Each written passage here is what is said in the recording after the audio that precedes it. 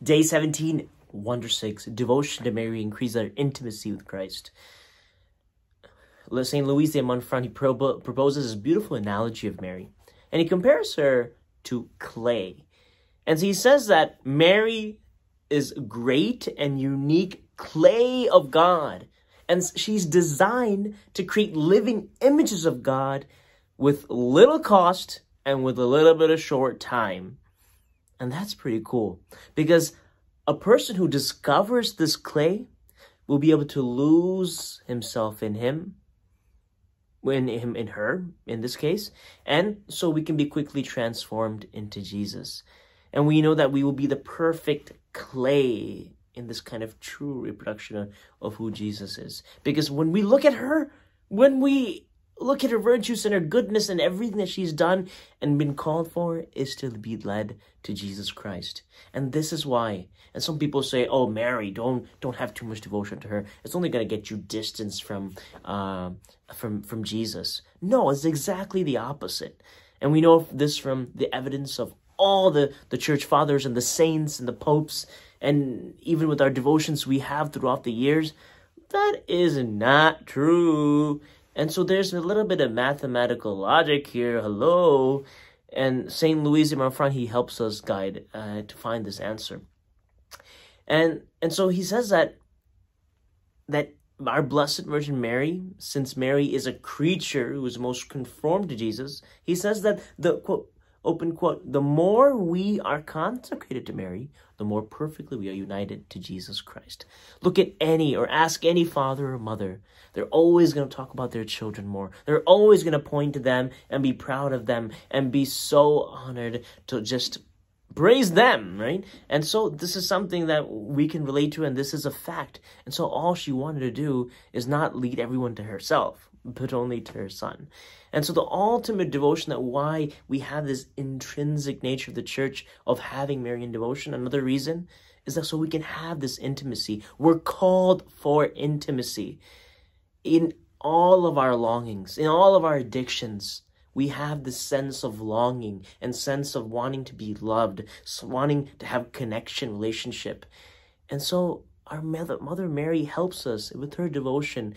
Entering the school of Mary, we can find perfect worship of Jesus Christ because this is the best way to get to Jesus. The best way of reaching ourselves to Jesus is entering the school of Mary. It can't be get any easier. And one of the reasons why we don't have a, a lot of followers of Christ and even why Jesus isn't known because Mary isn't known.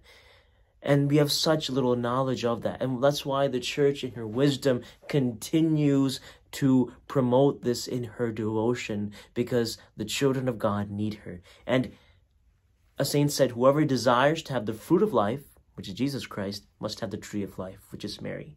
And let's even look at history. In 17th century, a bishop, a pre preacher, he said that Christ has honored Mary by annihilating, subjecting himself to her, and by communicating with man through her. So what do we do? We do what JP2 is suggesting us. He's suggesting that we become children of Mary. We become we enter into the school of Mary, and it takes nothing from our intimacy with Jesus. It only brings us closer. And so, rather, it actually helps us increase and leads us to the highest perfection. What is this perfection?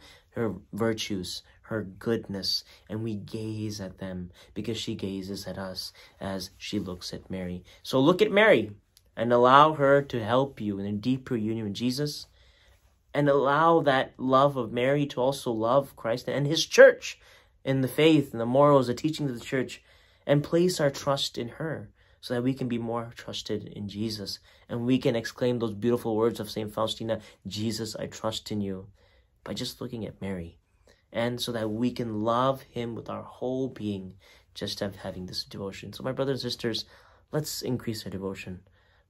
Have our Blessed Mother more in your life. Maybe have a statue in your room. Maybe have her presence throughout the day. Maybe something small that you can do. After Mass, uh, spending some time or uh, asking for her heart. As you receive communion, exchange your heart with hers as you do certain things, exchange your heart with her so that she can always lead you to Jesus. Be creative with your devotion. because um, I know that we all need a mother, a mother who helps us become a clay of God, becomes transformed in Jesus. Let us pray. I love you, dear Lord Jesus. Help me to love you with all my heart. Newborn Savior of the world, I trust in you. Mother Mary and Saint Joseph, pray for me and for all. Amen.